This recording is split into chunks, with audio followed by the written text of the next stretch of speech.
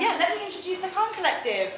Um, the Dhaqan Collective is a feminist art collective of Somali women centering the voices of women and elders in our community and privileging co-creation and collaboration. So give them a hand. Hello, thank you so much for your patience. I know we're running a bit late.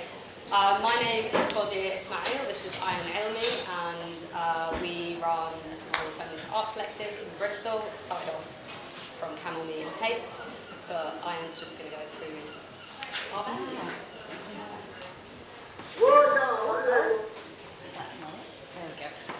Um, these are just kind of some of the kind of elements of around the work that we do. Yeah, sorry. Yeah, I'm just naturally quiet, but I will try, sorry. Um, so these are just some of the elements of um, the kind of key elements of the work that we do.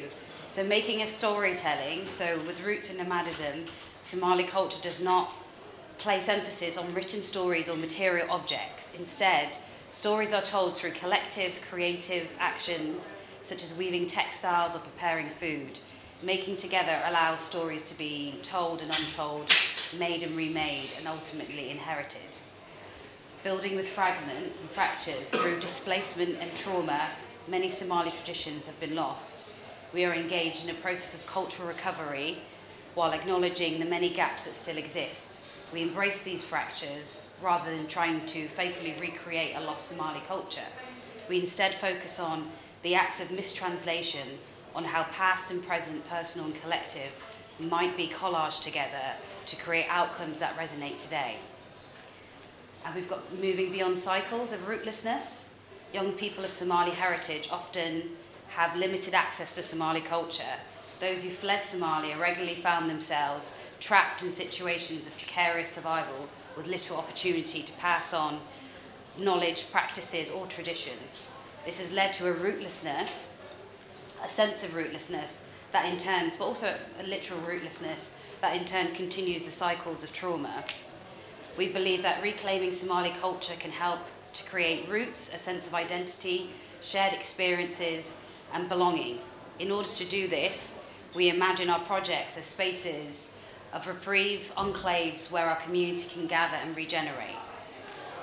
Um, and we also want to resist tired narratives. The stories told of Somalia and its many communities are often singular, focusing solely on violence and conflict. Yet the experience of being Somali can often be joyful. Life can be encapsulated by a single story or emotion. Consequently, we want to tell deeper stories that engage with the full, complex experience of what it means to be of Somali heritage today. So that just gives a bit of background about sort of like about our values really and so in terms of how do we bring people together, well, you know, we, we bring our communities together through everyday acts of storytelling. You know, since 2020, we've really developed, we feel, like a foundational methodology uh, for the projects that we produce. So we focus on the everyday materials, practices that form that are foundational to Somali culture. That's culinary traditions, that's weaving, that's cassette tapes. So we really try and engage people in the materiality of everyday objects. Um, and then sort of each project really does begin with a with an everyday object. So we started off um, with, for example, using cassette tapes. So this whole uh, project really started with this, uh, the way in which cassette tapes were a really important vehicle for how our culture was um, kept alive really during the war and during displacement. Um, and so we, we're really, you know, we, we know that the displacement that's happened has, has had a deep, deep impact on our communities and we're, we're really just beginning to talk about that trauma. You know, it's definitely something that our parents um, have not talked about, our elders haven't talked about. And so there's a kind of intergenerational gap that we're trying to bridge really through looking at these materials. Um, Ayan's going to talk about like how we host. So this kind of a key part is how we host really. Yeah. So we kind of we don't really have many places where we can kind of reflect on the significance of Somali culture, but also to have spaces outside of um, just greater society, which can be quite harsh, um, which in terms of, you know, some Somali communities are kind of one of the poorer communities. Um, and there isn't necessarily a kind of place to heal, a place to kind of regenerate. Um, and we try to do this in kind of um, carefully, kind of creating spaces um, that people can kind of reflect upon. Um, and also, it is kind of intergenerational as well. We, unfortunately, we didn't get to with our first project because COVID hit. We didn't get the elders um, in a room with everyone else, but um, our experience with them has been this kind of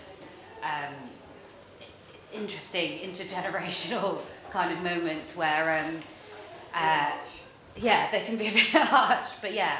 Um, so we, we kind of want to develop, further develop this in some ways. Um, and it kind of is about holding space. Um, there can often be pressures for figures uh, from underrepresented communities to act as ambassadors, bearing the responsibility of collective story. This pressure can limit the possibilities of exploring the small, personal, and often idiosyncratic experiences that make us who we are as individuals. Um, we believe that all should have the right to tell their own story, however it unfolds, rather than be expected to carry the weight of others. We'll just play you um, a small snippet from uh, our first project.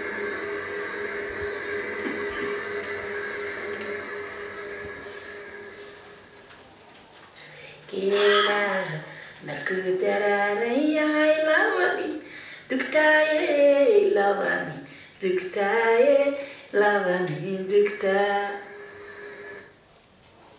So this is an image by the wonderful Stacey Oliker who worked with us to. Um, a lot of the women were not comfortable showing their photos, so we had to find alternative ways of literally having them in the room. So they were present in that Arnold Feeney event, like in the background in that image, so that they were with us, even though they weren't in the room. But it, that voice is so beautiful, and what we really learned from from working with the elders is a they all sing unbelievably well, like all of them, just off the cuff, have this really beautiful, rich. Um, re- these, kind of a rich way of talking, but also like their voices, the way that in which they can just come together and sing. Harmonise. Yeah, it was stunning, and it and it really made us think of the way singing was such a, a core part of the culture that's kind of been lost in a way through um, through displacement. So that everyday singing, which happens, we'll show you a video later of uh, my mum and aunt in Somaliland, but like that everyday singing that just these are songs that were passed down. These are songs that they would do, but they're everyday practices. So um, one of the things that was beautiful, one of the women said, um, culture. She described culture as companion. So you're in compa- the culture is your companion. Like if you have that, and I think it was such a beautiful. That was so. It was such a beautiful way of looking at Somali culture and the way that really Somali people do hold it as a companion through the migration and displacement that's happened. Like to give context of Somali nomadic life, we haven't changed. Like Somali nomadic people have been living in that same area in that same place for ten thousand years. So we're, you know, when people talk about the Maasai, it's like Maasai people or any of those indigenous tribes in Africa are, in terms of the lifestyle, has not changed for 10,000 years. So you've got that. Um, so there's a there's an academic called Dr. Ahmed Ali Ilmi which looks at Dhaqan, and we're called Dhaqan because um, sort of Somali Dhaqan philosophies, he says, are a liberating tool from oppression grounded in the teachings of our ancestors. So he defines Somali Dhaqan cultural philosophies are indigenous African philosophies that encapsulate multiple bodies of living comprehensive knowledge. These philosophies are the founding pillars of Somali societies in as much as they are overarching principles governing Somali people. In their cosmological sense, Dhaqan philosophies are the common threads that connect Somali people to their ancestral homelands in Somalia and to a communal way of life. So, um, you know, and we, we go back to this kind of this kind of real communal way of life, which is rooted in nomadism um, you have to work together, you have to work um, with each other to really survive what is like one of the harshest landscapes in Africa. But you know, we have survived with that wonderful relationship with the camel. That always comes up. Like the cat, a lot of the songs you hear refer to the camel. The camel and Somalia are in, in linked. I think we have the biggest camel population in the world. They are absolutely vital to our survival there. Um, ah, yes. So this is our next project, really, which came out of that. Um, Audible Tapestries. One of the things we worked out when we were working with the elders is uh, Faduma, one of the elders, came in and she'd done this beautiful woven object and she sang us the patterns, like the, the a song from the woven piece that she'd made, and we, we, we kind of asked her about that. And but they did a weaving song, so it was like the we the we found out in our research with uh, Trailblazers really how much the craft and art of weaving has largely gone like, unacknowledged because it's considered women's work. Um, so most tasks are like, in, in terms of how nomads survive, it's all women. Like it is, um, like they build the akal, they build the, the nomadic house, they weave all the objects within it, they do like it's it's unbelievable how much stuff like and we had no idea that all of it all of these kind of handicrafts were such a key part of Somali nomadic culture because it's been devalued really by us. Everything you hear about Somali culture is the poetry. Like we're in all, you know, it's, it's this romanticization and it's the men, you know, basically herd the camel, milk camel and write poetry. Like literally, that is what they do, you know. And so it's like the big poets and and and so there's a big deal made out of Somali poetry, but not really you don't really hear about women's work and women's handicrafts. Um, and so we really wanted to um, shine a light on that. So um, this is a quote from a, a, research that was done in 1994 by Fullerton and Adam. Um, and it says, in this semi-desert, the Somali people have developed a portable house called an akal, which is in complete harmony with its environment. The land may look barren and hostile, but it contains all the necessary material for the akal and its contents. It is a brilliant illustration of the economic use of limited resources, an invention forced by the conditions of life and totally Somali in character. And yet the ingenious skill that produces these crafts has been rather neglected by foreign scholars and taken for granted back home.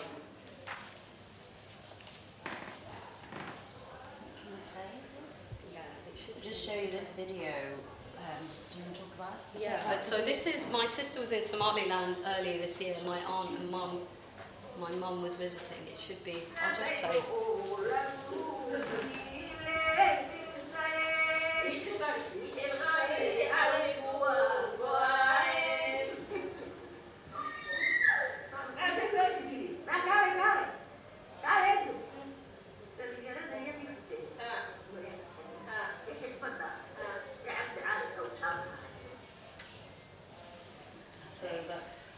Um, so typically with a lot of these um, weaving, um, there are a lot of songs kind of that go along with it. So Somali people have a variety of songs that are used during their work. These are work songs called Hesa Hawlid, which they sing to pass the time and entertain themselves. The songs can be new or off the cuff, the melody or the words can change. There are work songs for every conceivable, conceivable activity from cattle, camel herding to milk churning to weaving. The kabid is the most valuable woven object for the apple covering the top of the structure and is made from acai trees, which are currently in danger due to the charcoal trade in Somalia. So there's kind of a bit of a back and forth at the moment um, where a lot of the trees have basically, um, which is essentially the material for um, a lot of these um, the, the kabid, which is used for the um, structure of the house. It's essentially industrialization that um, means that there's a kind of competition um, and also the reason why it's the actual um, why it's all dying out is um, because of that industrialization is just basically taking over these trees and using it for charcoal production. Um, and I think previously, I guess what it was was that um, there was a real kind of protection of land um, that has been kind of lost uh, and forgotten at the moment. Um, So you used to have hair, which is like a tribal. So you know, before you would like if you cut down a tree, your family would be exiled for a year from the community, and you all of your earnings for that year would go back to the community. So you had trees were actually better protected traditionally by nomadic people than um, uh, you know uh, trees were really well protected actually more than life in a way um, because it was such an essential to nomadic lifestyles. But what's happened with migration and diasporic communities and people coming back to Somalia and you know kind of there's a real um, I guess there's a lessening of those connections to nomadic ways of life, which means that there's not a value for that sustainable living. And that's mimicked everywhere around the world. So um, something like uh, 5% of indigenous communities across the world are responsible for 80% of the world's biodiversity.